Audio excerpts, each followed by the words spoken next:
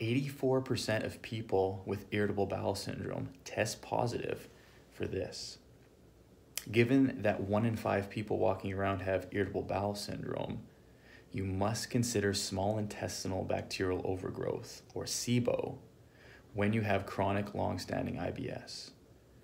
IBS is typically just a diagnosis that's given, it's a label that's given when the system doesn't really know what's wrong with you.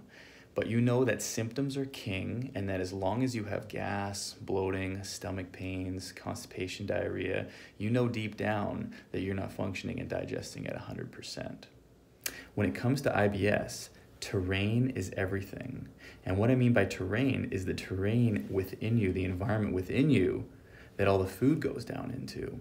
Because it's not always a problem with respect to food, but more so the environment that the food is going into. There are some easy ways to help settle down IBS, such as moving towards a Paleolithic diet, removing grains and dairy and processed foods. That usually takes the edge off, but it doesn't always fix it because it's not just the food that's the problem, but the environment, the microbiome, and the gut bacteria within you. It's that environment that the food's going into that matters more. So in our world, we know there's a huge connection between small intestinal bacterial overgrowth and IBS. We have an amazing breath test that actually quantifies this issue so you can see where the overgrowth is because most of our bacteria should be on our large intestine.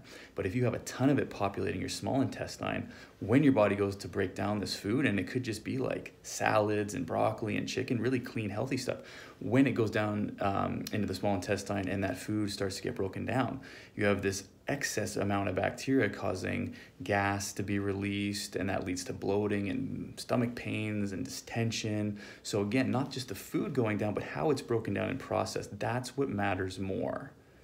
So if you've been labeled with IBS, if you have chronic long-standing gut issues, you need to be screened for SIBO. It's a super simple at-home breath test where you collect your breath over three hours so we can actually see what sort of imbalance is occurring within your small intestine. From there, we can use natural approaches to balance those levels so that when you go and eat again, your body doesn't freak out. We've seen this time and time again. The system doesn't give you answers. We definitely can.